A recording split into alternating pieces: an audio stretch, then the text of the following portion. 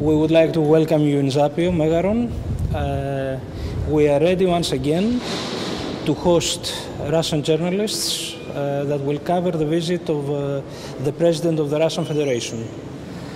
Uh, we have worked in full capacity and uh, we have already accredited more than uh, 60 Russian journalists that will cover the event, which is a, an important Uh, uh, visit that falls within uh, the year of Russia and Greece, 2016.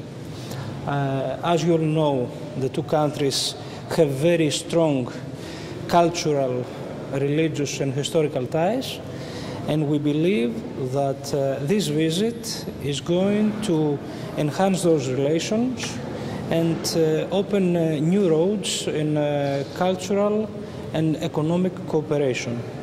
Uh, thank you all for coming, and uh, we are here to do the best to accommodate, uh, to accommodate you and help you deliver what you have to deliver and pass the message to the people of Russia. Thank you.